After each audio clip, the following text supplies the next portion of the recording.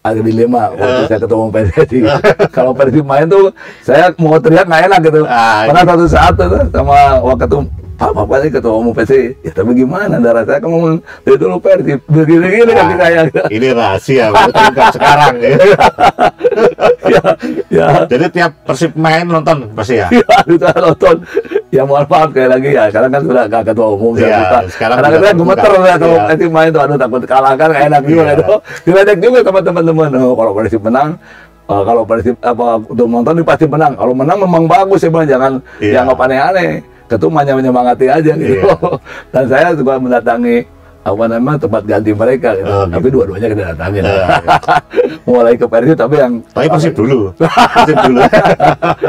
saya waktu Kapolda pun alhamdulillah Iya, iya. eh, waktu itu eh, trofi eh, kemenangan juara eh, Liga 1 ya kalau salah 2014 itu berangkatnya arak-arakan trofi dari Polda Jawa Barat. Ah, Oke. Ya. Karena karena Kapoldanya bobotoh itu. ya.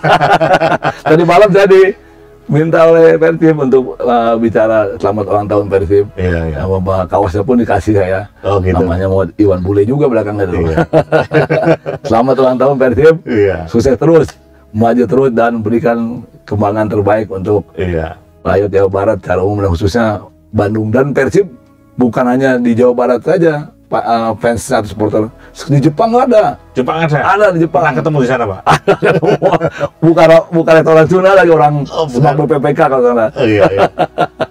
ada pak Ya, fans terjauh yang pernah di ditemui Pak Iwan. Jepang di Arab ada Arab ada. ada di Arab ya Jepang Arab Jawa, Jawa Arab lah ya Jadi sudah layak dibandingkan dengan fans Barcelona. itu orang sana nanya juga itu Persib tuh klub apa ya nggak tahu pasti buka-buka coba itu klub terbesar di Indonesia salah Iya, satu terbesar betul, dan memang itu salah pendiri PSSI kan itu Iya, iya, iya.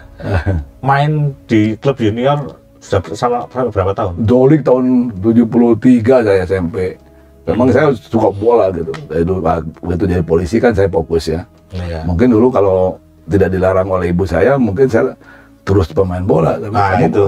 Nah, ini. mungkin ya gitu terus hobi bola dari mulai di sawah saya main bola ET saya di Bayangkari situ nggak ada Iya. lapangannya lapangan pop lapangan lodaya tuh itu lapangan punya polisi satu-satunya paling bagus tuh di Bandung tapi karena dipakai terus kadang-kadang di sawah saya main sawah kering ya Oke. sawah kering. tapi ya bisa seneng aja gitu Jangan lupa like, subscribe, dan share ya.